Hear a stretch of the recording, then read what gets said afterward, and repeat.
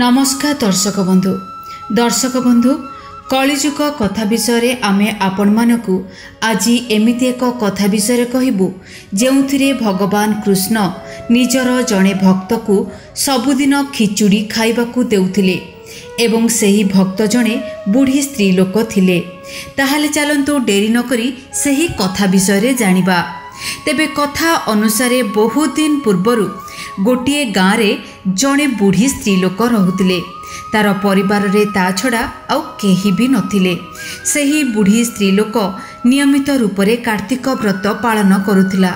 ଏହା ମଧ୍ୟ କୁହାଯାଏ କି ଯେତେବେଳେ ସେ ସବୁଦିନ ସନ୍ଧ୍ୟା ସମୟରେ ବ୍ରତ ଖୋଲୁଥିଲା ତ ସେତେବେଳେ ସ୍ୱୟଂ ଭଗବାନ ଶ୍ରୀକୃଷ୍ଣ ତା ଘରକୁ ଆସୁଥିଲେ ଏବଂ ଗୋଟିଏ ଜାଗାରେ ଭର୍ତ୍ତି ଥିବା ଖିଚୁଡ଼ି ରଖିକି ଯାଉଥିଲେ।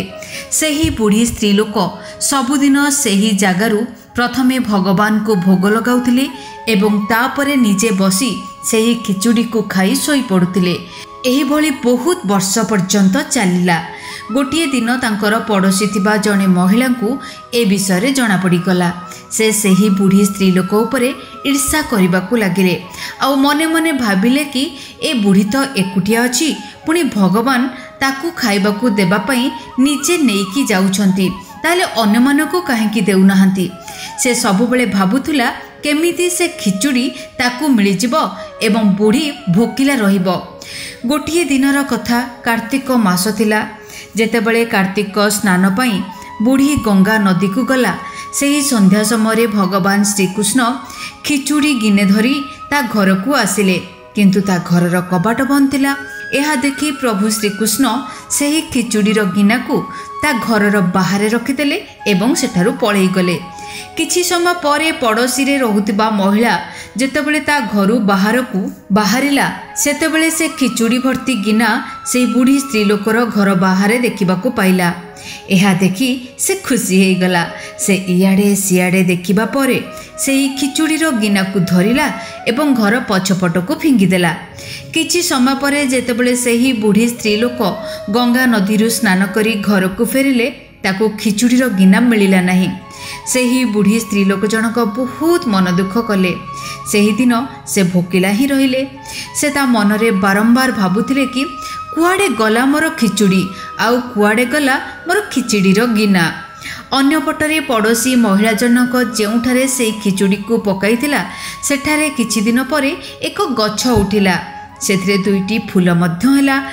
ଗୋଟିଏ ଦିନ ସେହି ରାଜ୍ୟର ରାଜା ସେହି ବାଟ ଦେଇକି ଯାଉଥିଲେ। ଯେତେବେଳେ ତାଙ୍କର ଆଖି ସେହି ଫୁଲ ଉପରେ ପଡ଼ିଲା ସେହି ଫୁଲକୁ ଦେଖି ରାଜା ତାଙ୍କ ରଥ ଉପରୁ ଓହ୍ଲାଇଗଲେ। ଏବଂ ଫୁଲ ଥିବା ସେହି ଗଛ ପାଖକୁ ଗଲେ ସେହି ଫୁଲର ସୁଗନ୍ଧ ତାଙ୍କ ମନକୁ ମୋହି ନେଲା। ରାଜା ସେହି ଦୁଇଟି ଫୁଲକୁ ତୋଳିଦେଲେ ଏବଂ ତାଙ୍କର ରାଜମହଲକୁ ପଳାଇଗଲେ ରାଜମହଲରେ ପହଞ୍ଚି ରାଜା ସେହି ଦୁଇଟି ଫୁଲକୁ ରାଣୀଙ୍କୁ ଉପହାର ଦେଲେ। ତାକୁ ଶୁଙ୍ଘିଦେଲା ପରେ ରାଣୀ ଗର୍ଭବତୀ ହେଇଗଲେ। ଯେତେବେଳେ ଏହି ଖବର ରାଜାଙ୍କୁ ଜଣାପଡ଼ିଲା ସେ ଅତ୍ୟନ୍ତ ପ୍ରସନ୍ନ ହେଇଗଲେ। କାହିଁକି ନା ରାଜାଙ୍କର କୌଣସି ବି ସନ୍ତାନ ନଥିଲା। କିଛି ମାସ ପରେ ରାଣୀ ଦୁଇଟି ରାଜକୁମାରଙ୍କୁ ଜନ୍ମ ଦେଲେ। ରାଜା ଓ ରାଣୀ ଦୁଇ ପୁତ୍ରଙ୍କ ସହିତ ଖୁସିରେ ସମୟ ଅତିବାହିତ କଲେ। କିଛି ଦିନ ପରେ ସେହି ରାଜକୁମାର ଯେତେବେଳେ ବଡ଼ ହେଲେ ସେତେବେଳେ ସେ ଗୋଟିଏ ଦିନ ଶିକାର କରିବାକୁ ବାହାରିଲେ। କିଛି ବାଟ ଯିବା ପରେ ଦୁଇ ଜଣ ରାଜକୁମାରଙ୍କୁ ସେହି ବୁଢ଼ୀଙ୍କ ସହିତ ଦେଖାହେଲା ଯାହାର ଖିଚୁଡ଼ି ଗିନାକୁ ପଡ଼ୋଶୀରେ ରହିଥିବା ମହିଳା ଜଣକ ଫିଙ୍ଗି ଦେଇଥିଲା। ସେହି ବୁଢ଼ୀ ସ୍ତ୍ରୀ ଲୋକ ଦୁଇ ଜଣ ରାଜକୁମାରଙ୍କୁ ପଚାରିଲେ କୁଆଡ଼େ ଗଲା ମୋର ଖିଚୁଡ଼ି? ଆଉ କୁଆଡ଼େ ଗଲା ମୋର ଖିଚୁଡ଼ି ଗିନା? ବୁଢ଼ୀ ସ୍ତ୍ରୀ ଲୋକର କଥା ଶୁଣି ରାଜକୁମାର ଦୁଇ ଜଣ କହିଲେ ଆମେ ଆମେମାନେ ହେଉଛୁ ତୋର ଖିଚୁଡ଼ି ଆଉ ତୋର ଖିଚୁଡ଼ିର ଗିନା। ଏହିଭଳି ଭାବରେ ଦୁଇ ରାଜକୁମାର ଯେବେ ବି ଶିକାର କରିବାକୁ ଯାଆନ୍ତି ସେହି ରାସ୍ତାରେ ସେହି ବୁଢ଼ୀ ସାଙ୍ଗରେ ଭେଟ ହୁଅନ୍ତି। ସେହି ବୁଢ଼ୀ ସେମାନଙ୍କୁ ପୁଣି ପଚାରେ କୁଆଡ଼େ ଗଲା ମୋର ଖିଚିଡ଼ି? ଆଉ କୁଆଡ଼େ ଗଲା ମୋର ଖିଚିଡ଼ି ଗିନା? ସବୁଦିନ ଭଳି ସେହି ଉତ୍ତର ସେମାନେ ମଧ୍ୟ ଦିଅନ୍ତି ଯାହା ପୂର୍ବରୁ କହିଥିଲେ। ଗୋଟିଏ ଦିନ ଏହି କଥା ଯେତେବେଳେ ରାଜାଙ୍କୁ ଜଣାପଡ଼ିଲା ସେ ଡରିଗଲେ। କାରଣ ଦୁଇ ଜଣ ରାଜକୁମାର ଛୋଟବେଳୁ ଘରେ କାହାକୁ କିଛି ବି କହୁନଥିଲେ। ରାଜା ତାଙ୍କର ସୈନ୍ୟମାନଙ୍କୁ ଆଦେଶ ଦେଲେ ସେହି ବୁଢ଼ୀ ସ୍ତ୍ରୀ ଲୋକକୁ ସମ୍ମାନର ସହିତ ରାଜମହଲକୁ ନେଇ ଆସିବା ପାଇଁ। ସ୍ୱାମୀଙ୍କର ଆଦେଶ ଶୁଣି ସୈନିକ ସେହି ବୁଢ଼ୀ ସ୍ତ୍ରୀ ଲୋକଙ୍କୁ ଆଣିବା ପାଇଁ ଶୀଘ୍ର ଶୀଘ୍ର ପ୍ରସ୍ଥାନ କଲେ। କିଛି ସମୟ ପରେ ସମ୍ମାନପୂର୍ବକ ତାଙ୍କୁ ରାଜମହଲକୁ ନେଇ ଆସିଲେ। ରାଜମହଲରେ ପହଞ୍ଚିବା ପରେ ରାଜା ତାଙ୍କର ଭଲ ଭାବରେ ସ୍ୱାଗତ କଲେ। ପୁଣି ତାଙ୍କୁ ଆସନ ଉପରେ ବସାଇଲେ। ରାଜା ସେହି ବୁଢ଼ୀ ସ୍ତ୍ରୀ ଲୋକଙ୍କୁ ପଚାରିଲେ ଆଚ୍ଛା ଏହି ଦୁଇ ଜଣ ରାଜକୁମାର ଆମମାନଙ୍କୁ କାହିଁକି କିଛି କହୁନାହାନ୍ତି? କିନ୍ତୁ ଆପଣଙ୍କୁ କେମିତି ଏ କହୁଛନ୍ତି? ବୁଢ଼ୀ ସ୍ତ୍ରୀ ଲୋକ କହିଲେ ମୋତେ ଜଣା ନାହିଁ। ଆପଣଙ୍କ ଦୁଇ ରାଜକୁମାର ମୋ ସହିତ କେମିତି କଥା ହେଉଛନ୍ତି? କିନ୍ତୁ ଏହି ରାଜକୁମାର ମୋତେ ଯେଉଁ କଥା କହିଲେ ତାହା ସତ ଅଟେ। କାହିଁକି ନା ମୁଁ କାର୍ତ୍ତିକ ବ୍ରତ କରୁଥିଲି ଏବଂ ଭଗବାନ ଶ୍ରୀକୃଷ୍ଣ ମୋତେ ସବୁଦିନ ଖିଚୁଡ଼ିର ଗିନା ଆଣି ଦେଇଯାଉଥିଲେ। ମୁଁ ତାହାକୁ ଖାଉଥିଲି କିନ୍ତୁ ଗୋଟେ ଦିନର କଥା ମୁଁ କାର୍ତ୍ତିକ ସ୍ନାନ କରିବା ପାଇଁ ପବିତ୍ର ଗଙ୍ଗା ନଦୀକୁ ଯାଇଥିଲି। ଯେତେବେଳେ ମୁଁ ଫେରିଲି ମୋର ଖିଚିଡ଼ି ଭର୍ତ୍ତି ଗିନା ଆଉ ମିଳିଲା ନାହିଁ।